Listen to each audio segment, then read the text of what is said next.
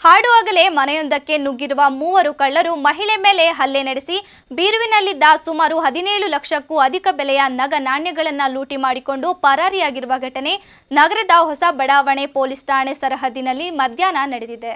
ನಗರದ ಶಂಕರ್ಪುರಂನಲ್ಲಿರುವ ಮನೆಯೊಂದಕ್ಕೆ ಮಧ್ಯಾಹ್ನ ಹಾಡುವಾಗಲೇ ನುಗ್ಗಿರುವ ಮೂವರು ಕಳ್ಳರು ಮನೆಯೊಳಗಿದ್ದ ಮನೆಯ ಮಾಲೀಕರಾದ ಮಹಿಳೆಯ ಮೇಲೆ ಹಲ್ಲೆ ನಡೆಸಿ ಬೆದರಿಕೆ ಹಾಕಿದ್ದಾರೆ.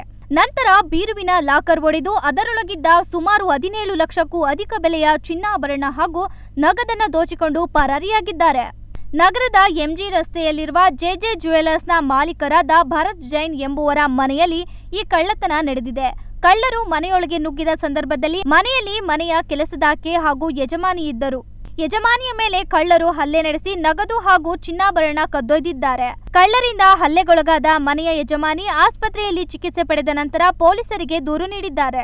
ಪೊಲೀಸರ ಹೆಚ್ಚಿನ ತನಿಖೆಯಿಂದಷ್ಟೇ ಕಳುವಾಗಿರುವ ಚಿನ್ನಾಭರಣ ಹಾಗೂ ನಗದಿನ ನಿಖರ ಮಾಹಿತಿ ತಿಳಿಯಬೇಕಿದೆ. ಘಟನೆಯ ಬಗ್ಗೆ ಸುದ್ದಿ ತಿಳಿಯುತ್ತಿದ್ದಂತೆ ಹೊಸ ಬಡಾವಣೆ ಪೊಲೀಸರು ಸ್ಥಳಕ್ಕೆ ಧಾವಿಸಿ ಪರಿಶೀಲನೆ ನಡೆಸಿ ಪ್ರಕರಣ ದಾಖಲಿಸಿಕೊಂಡು ಮುಂದಿನ ಕ್ರಮ ಕೈಗೊಂಡಿದ್ದಾರೆ. ಘಟನೆ ನಡೆದ ಸ್ಥಳಕ್ಕೆ ಹಿರಿಯ ಪೊಲೀಸ್ ಅಧಿಕಾರಿಗಳು, ಬೆರಳುಚ್ಚು ತಜ್ಞರು ಹಾಗೂ ಶ್ವಾನದಳ ಭೇಟಿ ನೀಡಿ ತಪಾಸಣೆ ನಡೆಸಿದೆ. ಕ್ಯಾಮ್ರಾ ಪರ್ಸನ್ ಅಂಜನ್ ಜೊತೆ ಎನ್ಎಸ್ ಮಾರುತಿ ಪ್ರಸಾದ್, ಅಮೋಕ್ ಟಿವಿ, ತುಮಕೂರು.